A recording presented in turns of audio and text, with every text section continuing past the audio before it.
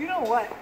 I don't understand why they always put these shade umbrellas in courtyards like this that don't even get very much sun.